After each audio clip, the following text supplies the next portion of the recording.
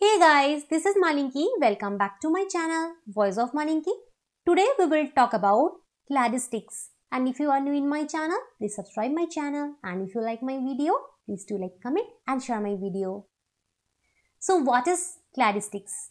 It is basically a method to classify organisms based on their evolutionary history or relationships.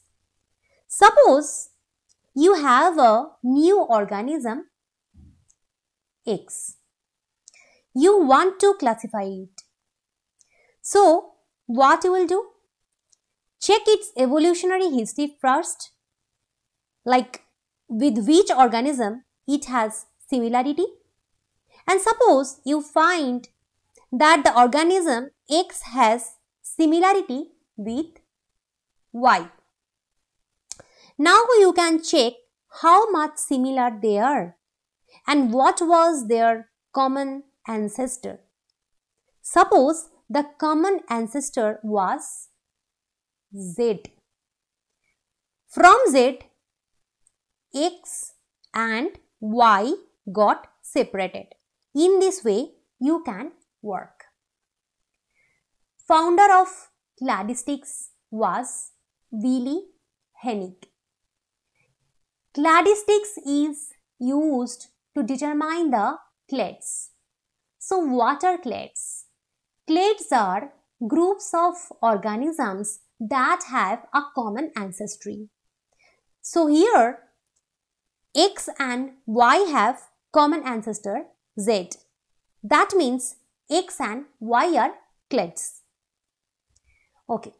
The diagrammatic illustration of these is called cladogram or phylogenetic tree. Cladistics is highly preferred due to its higher accuracy. Let's talk about the parts of a cladogram. So this is basically a cladogram. Here is the root. So root is initial common ancestors of all the organisms and it is basically starting point for any cladogram. So this is root. So here A and B are very much similar and they are related organisms. So they are called in group and C is not similar with A and B.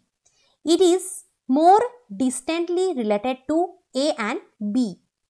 It is called outgroup and these are branches and last is this node. So in this picture there is only one node. Uh, this is basically the node. Here is only one node. Suppose it is D.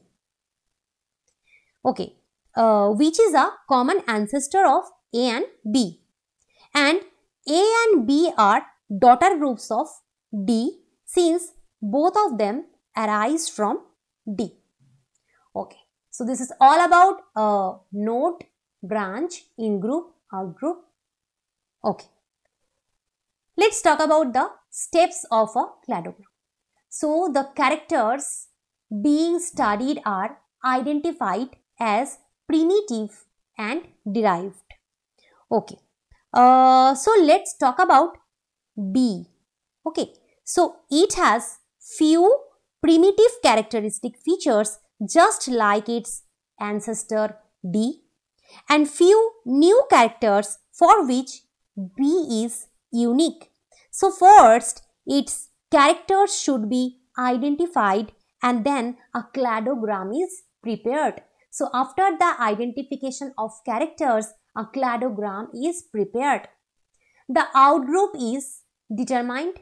Outgroup includes the organism that diverged early from the ancestor and has a different character than other descendants which have other common characteristics and are called in-groups. Uh, so basically in-group and out-group should be separated in this way.